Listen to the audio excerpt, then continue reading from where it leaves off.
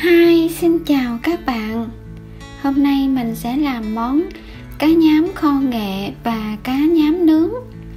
À, Đây là con cá nhám mình mua về. Mình đã làm sạch, cạo sạch cái vỏ nhám ở bên ngoài Và cắt miếng vừa ăn như thế này. Bây giờ mình sẽ chuẩn bị ướp gia vị.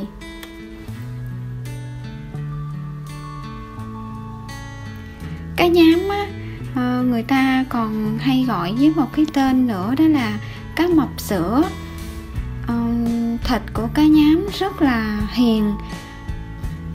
Ừ, trong thịt nó có chứa rất là nhiều dưỡng chất tốt cho cơ thể.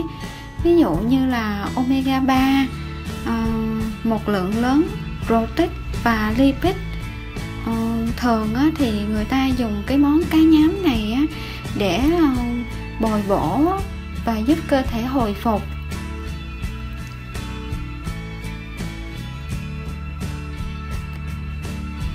Cá nhám làm được rất là nhiều những cái món ăn ngon. Ví dụ như là ngoài kho nghệ và nướng ra, thì mình có thể nấu canh chua, hoặc là à, thái lát ra làm gỏi à, hoặc là nấu lẩu chua rất là ngon. Hôm nay mình sẽ kho nghệ và nướng. Con cá này thì à, gần 2 kg mình sẽ ướp gia vị cho cái món cá này á, mình à, mình ướp à, một chút bột ngọt, hành băm, tiêu đường, nước mắm ngon và đặc biệt không thể thiếu đó là bột nghệ.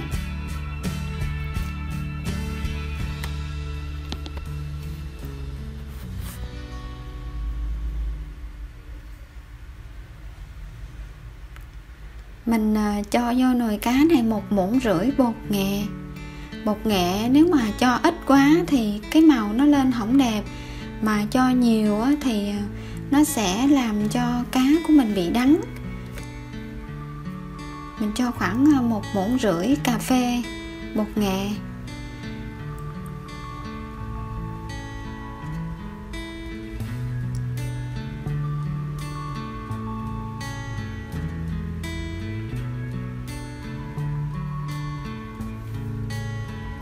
Thịt của con cá nhám này ăn nó ngọt và nó có nhiều sụn, không có xương, ăn rất là ngon. Mình trộn đều cho và ướp như vậy khoảng 20 tới 30 phút để cho cá nó thấm đều gia vị hết.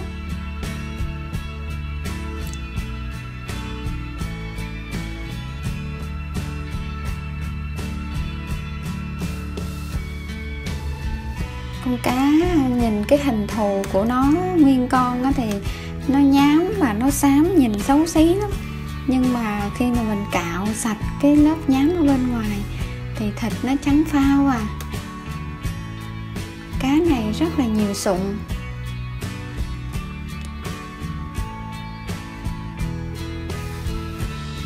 Đây là cá mình đã ướp được à, nửa tiếng rồi bây giờ mình sẽ đi ờ, nướng một nửa và kho một nửa.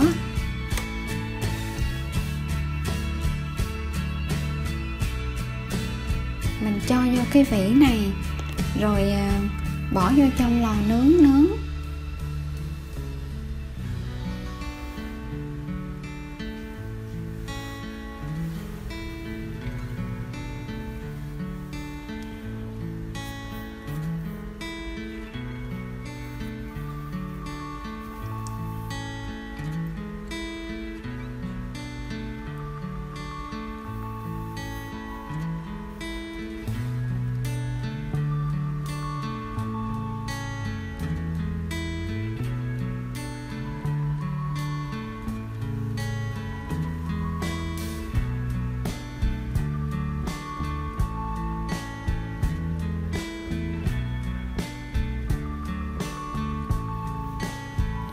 Sắp à, khoảng như đây thôi.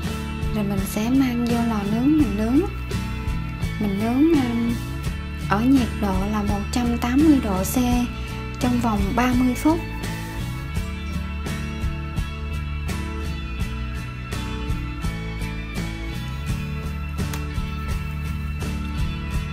Trong lúc chờ đợi à, cá nướng chín thì mình sẽ đi kho cá đầu tiên là mình sẽ cho à, tỏi lên mình phi cho nó vàng thơm.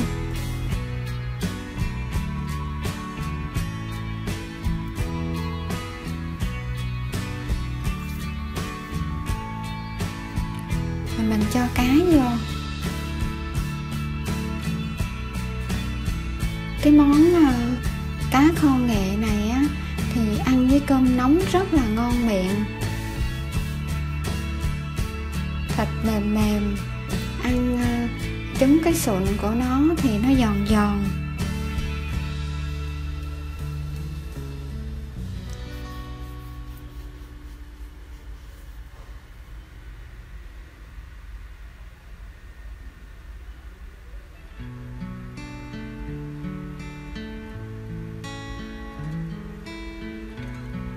Mình cho hết cái nước ờ, gia vị hồi nãy vô luôn.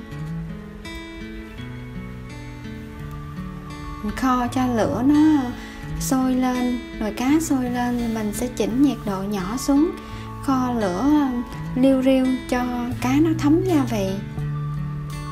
Trở cá đều hai mặt cho nó thấm đều gia vị luôn.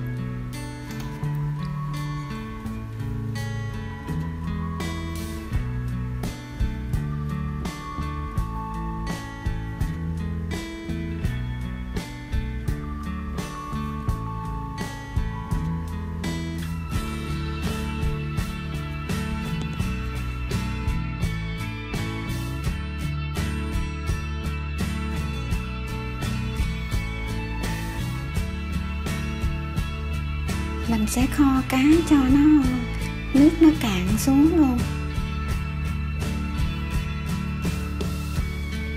Đây nồi cá của mình kho nãy giờ cũng được 20 phút rồi nè. À, như vậy là xong rồi đó các bạn.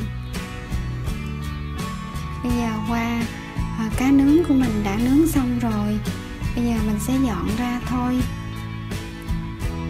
Nhìn rất là hấp dẫn. Cá kho rất là thơm. Cảm ơn các bạn đã theo dõi. Xin chào và hẹn gặp lại. Bye bye.